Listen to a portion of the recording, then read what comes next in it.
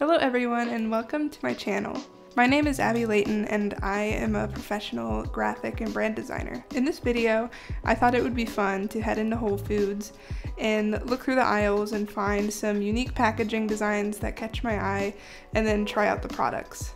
In 2023, we're in a landscape full of innovative products in the, both the grocery stores and on Amazon that are all trying to stand out. So it's interesting to go into the aisles of the actual grocery store and see which brands actually do stick out based off of their graphic design. How does their use of color or packaging draw your eye in? And how does their product stand out amongst the other competitors on the shelf? So in this video, we will be going to Whole Foods and walking through the aisles and seeing what we can find. Let's go. Alright, so heading into Whole Foods and starting our adventure, we started in the pasta aisle. And there's honestly a couple of cool brands. This Goodles package really stuck out to me because it was hot pink and everything else in the aisle was kind of like white and neutral. So I also found them in the mac and cheese aisle, which sounded a little bit more exciting to try. I really loved the Cheddy Mac package. It's bright blue and orange and it just really stuck out to me. So I grabbed that box. And then right next to that aisle was the ramen area, and immediately I saw this really unique Omsum brand, which I've never heard of, but their packaging was awesome. Like the, logo type really jumped out at me, and the whole box was beautiful. So I picked that up. I also found this Japanese hot sauce, which was really pretty, but it was also really expensive, so I didn't get that. Um, then we were in the like the sauces and condiments area, and I found this interesting ketchup that is kind of like a gut friendly ketchup, and I just really liked the pink design. You don't really see that in the ketchup aisle, so. Then we headed into the cereal aisle, and I found this really cool Lovebird brand that felt really minimal, but I didn't pick it up because it was a little bit too expensive. But other than that, we couldn't really find that much that really jumped out to me in terms of packaging design. And it was honestly just really cool to walk around the grocery store and kind of view all the different products through the lens of a designer. It really kind of makes you in tune to the actual packaging design and how different brands are kind of jumping out. Towards the end of our journey, we found a couple of nicely packaged drinks, so I picked up a couple cans that really jumped out to me on the shelf. Alright, so we just got back from Whole Foods, and this is the little haul. Alright, so the first thing I got was this Omsum spicy noodle. It's like an instant ramen kind of competitor. I really loved the packaging design because of the black letter typography and the bold color choices. The back of it is super well designed and laid out. And I just loved the color choices as well as the black letter typography choice.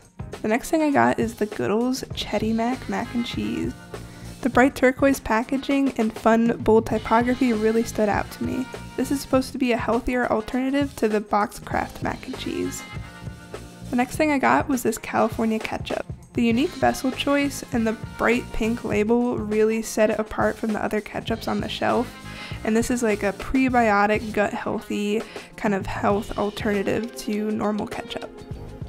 This is really great choice for an artisanal ketchup with the warm colors and simple typography. Next up we have the Graza Cooking Olive Oil. I really love this label design with the really cute illustration and custom typography as well as the bright green cap and matching bright green label. This is super different from all the other olive oils on the shelf. It has this awesome section on how to use it and I just really loved everything about this design. They're super transparent about where the olive oil comes from and it comes in this awesome squeezable bottle. Overall, I love the unique mix of design styles they chose. In the drink department, I chose this Culture Pop soda.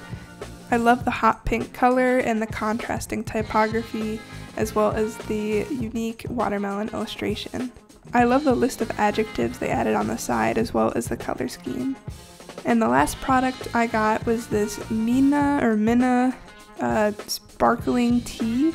I really loved the color and the bold graphic of the flower and the typography elements and how that all sits in together. They really merged all of these elements really nicely while still keeping it minimal. Alright, so the first thing I'm going to try are the Omsum spicy noodles. They come with this really cute branded sauce packaging and it works just like any other instant noodle. You boil it in water for a couple minutes and then you add the sauce packet. And this is what it looks like when it's fully cooked with the sauce added into the noodles. So the flavor of these noodles are pretty good, I would say, compared to other instant ramen noodles that I've had. Um, this has a very nice flavor. Um, it may just be me being a wimp, but I think it's kind of spicy, which I know on the box it has like four peppers and it only has like one pepper filled in. So I was expecting it to be a little bit more mild than it actually is. I would consider this like a medium spice dish rather than a mild. But um, other than that, it has really great flavor. For the value, I think, I mean, all these products are a little bit higher priced compared to like their cheap counterparts. Um, but you kind of get like this nice branded experience with it. You get that nice sauce packet. You also are supporting small business um, rather than like a big brand name that is owned by the same company. So I do like that aspect of it. Um, I would definitely buy it again. Um, it's a little bit spicier than I was anticipating, but um, with all that being said, I think it has great flavor and I would definitely recommend it. Next up on our list is the Minna Sparkling Tea that is lime hibiscus flavored.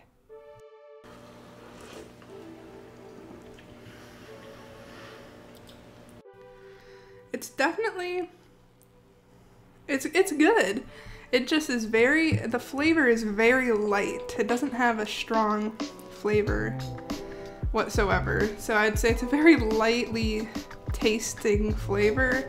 It's supposed to be a Rooibos tea and it's unsweetened um, and it's a lime hibiscus flavor. I can taste the hibiscus, but and the lime slightly, but I feel like it's very subtle. It's not very strong. Yeah, it is a sparkling tea, which maybe that is why it doesn't taste quite as strong as like a normal tea. It's good, it's not bad by any means. It tastes good, the flavor is great. It's just a very subtle flavor, so I'm not sure if I would get this tea again. But I will be finishing it because I did spend money on it. Next up, we have the California Ketchup with added saffron and apple cider vinegar by Acid League. I don't have anything to dip this in, so I'm just gonna try it with a spoon.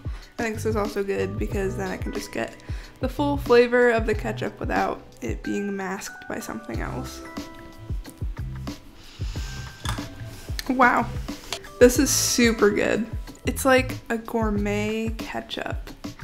It's very flavorful and it has a lot deeper flavors than like Heinz ketchup. It's meant to be a gourmet ketchup that you can top on your steak or on like a more gourmet meal. And I think that's exactly what this fulfills. It tastes really good. It has the apple cider vinegar in it and it has saffron added in, um, it has like the added gut health benefits and it tastes delicious. It really does taste like a gourmet high quality ketchup with a lot uh, deeper layers of flavor.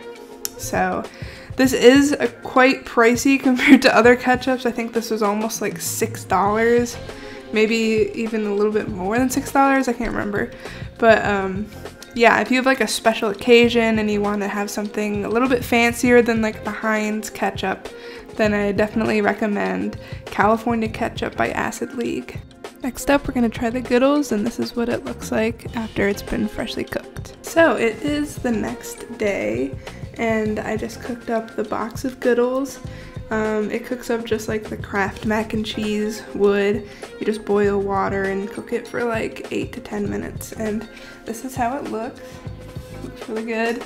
Looks honestly identical to like Kraft mac and cheese, and it smells pretty similar, so it doesn't have any like weird funky smells that sometimes like alternative health foods have compared to like um, the original. So let's try the Goodles. These are honestly really delicious. if you like Kraft mac and cheese, which I definitely do, this basically tastes exactly like that does. It has the creamy cheese sauce and it has the same texture. It doesn't have any weird like funky aftertaste or anything like that. Um, the noodles are delicious. I feel like if you put this bowl in front of me and said it was Kraft mac and cheese, I would believe you. so Um, I definitely recommend the Goodles mac and cheese. Alright, so the next thing I have here is the Graza olive oil. I actually also have the drizzle olive oil. So they have like two different types. One of them is for cooking, which is called the sizzle, and then one of them is for finishing, which is called the drizzle. So they both are made a little bit differently to kind of maximize the flavor. So on this piece of toast right here, I have um, a squirt of the cooking oil and a squirt of the finishing oil on the other corner. So we're gonna give it a try. This olive oil is so good. It's actually like going to be my olive oil that I keep around my house from here on out because this will be this will be my pantry staple from now on. It is so delicious. Like I've never had another store-bought olive oil that has this much flavor. Back when I was in college actually, I went on a trip to Portugal with my old roommate and uh, we stayed with her grandparents who lived there and they made their own olive oil and wine and they grew their own produce and we had a lot of their homemade portuguese olive oil. And honestly this is like the closest thing that has tasted to that to that olive oil. So it is absolutely delicious. It is full of fresh flavor. It is just really really good. And then in terms of the cooking oil, I have used this many times cooking and it is the perfect cooking oil. Um, yeah, I definitely recommend it. It has a nice flavor too. Obviously on the toast, the finishing oil tastes better because it just has more flavor because that's what it's meant for and this is more meant for just cooking. But um, yeah, they're very nicely priced. I would say they're very fairly priced. They're about the same price as all the other olive oils that I saw at Whole Foods. And yeah, I highly, highly recommend Graza olive oil. So the last thing on our list is the Culture Pop Probiotic Soda. Alright, so last but not least, we are going to be trying the Culture Pop Watermelon Lime Soda. So the flavor is really good, but it's kind of light like the other tea that we tried. This is supposed to be a soda, or it's marketed as a soda, so, you know, I feel like sodas have, especially compared to like tea, they have a lot stronger of flavor sometimes, and I feel like the flavor in this soda is very light. It's watermelon lime flavor, and you definitely get both of those flavors in here. And it tastes very good, but it's just very light, kind of like the tea. So I was just kind of anticipating a stronger flavor, especially because it is supposed to be like a soda.